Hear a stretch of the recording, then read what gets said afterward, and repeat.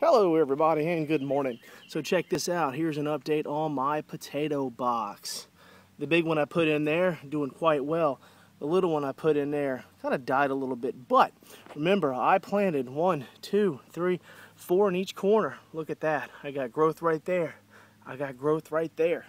I got a little speck of growth right there. And I got just the tiniest thing right there growing up.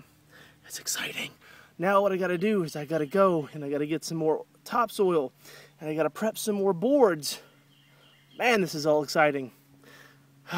Yay! Now I'm gonna go pick the first uh, of the look at these things. Look at those things. Look at that. That one's ready to come off. Look at that. That's going to taste so good. All right, time to go enjoy it. Bye.